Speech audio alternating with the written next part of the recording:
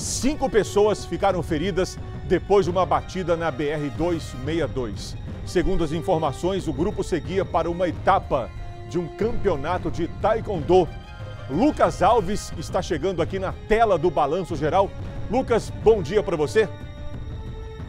Bom dia, Saulo. Bom dia a todos. Essa equipe de Taekwondo seguia aí no campeon... para o campeonato mineiro e é, a história é muito triste, mas agora eles estão em recuperação. Acontece que eles estavam seguindo da cidade de Manhuaçu, onde esta equipe é, para a cidade de João Molevade, onde que eles iam participar dessa competição. E foi ali próximo à cidade de São Domingos do Prata que aconteceu o acidente. No veículo estava o professor e mais quatro alunos, adolescentes. Segundo as primeiras informações, a equipe, os cinco, seguiam sentido João Molevade quando uma carreta iniciou uma ultrapassagem. O condutor da carreta, ele percebeu que não tinha mais como fazer essa manobra e tentou frear no momento em que bateu atrás do carro do professor.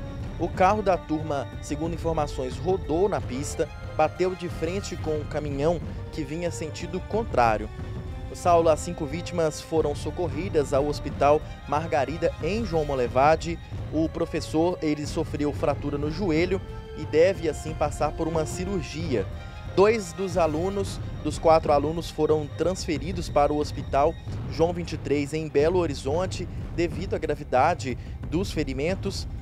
Já os outros dois alunos, eles sofreram ferimentos leves. É, são aí uma turma de uma turma de quatro alunos de taekwondo que ia participar da competição de um campeonato mineiro, é um, praticando um esporte, né, é uma felicidade para a cidade deles de Manhuaçu que passaram aí por esse acidente, Saulo. E nós, é claro, aqui aproveitamos para desejar uma boa recuperação é, para todos os dois que precisaram ser levados até o hospital em Belo Horizonte. Eu volto com você.